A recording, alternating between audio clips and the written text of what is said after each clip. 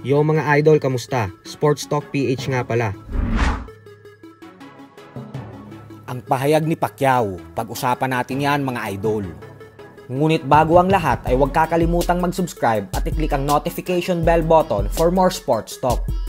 So matapos nga pong matalo ni Ryan Garcia sa kamay ni Gervonta Tank Davis via 7th round knockout, ay agad na interview ng media ang ating pambansang kamauman ni Pacquiao kung saan hiningi nila ang reaksyon ni Pacman sa naging laban ni Garcia at Davis. At dito nga po ay prangkang sumagot ang ating fighting senator na bagamat magandang laban umano ang napanood niya, subalit kailangan pa daw ng mas matinding development ni Garcia sa kanyang laro. Paliwanag ni Pacquiao na bata pa naman daw si Garcia, kaya naman may panahon pa ito upang ayusin ang mga mali sa laro niya.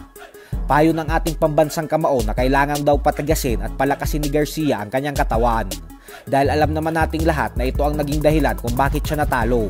Matapos siyang masapol ng isang solidong liver shot ni Davis, ay agad siyang tumiklop at hindi na nagawang makabangon pa.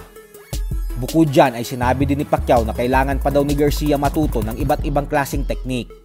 Ando na umano yung skills kay Garcia, subalit hindi pa daw ito sapat dahil kailangan pa daw niya itong i-improve ng gusto.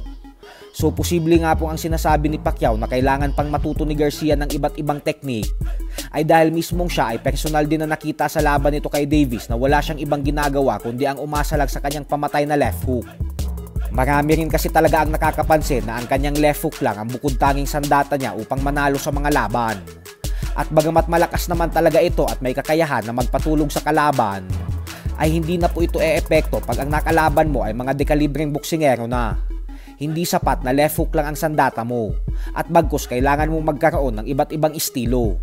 Nang sa ganun ay hindi siya maging predictable at para na din mahirapan ang mga kanyang kalaban na basahin kung ano ang mga susunod niyang gagawin sa ibabaw ng lona.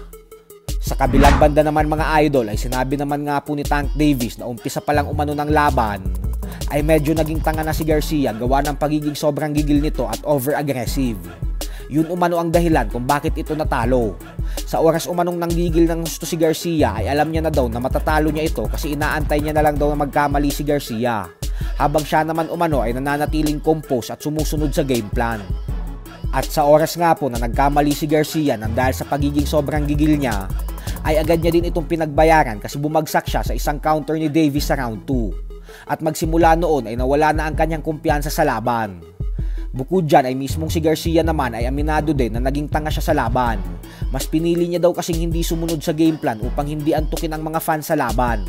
Gusto niya daw kasing magbigay ng aksyon sa mga fans na nanunood. Subalit sa kasamaang palad umano ay nagdusa siya ng dahil dito. Madaming fans din talaga ang nakakahalata na mas pinairal ni Garcia ang kanyang emosyon sa laban na ito at hindi niya ginamit ang kanyang utak. So hanggang dito na lang po muna tayo mga idol. Sports Talk PH Iba ang laban ng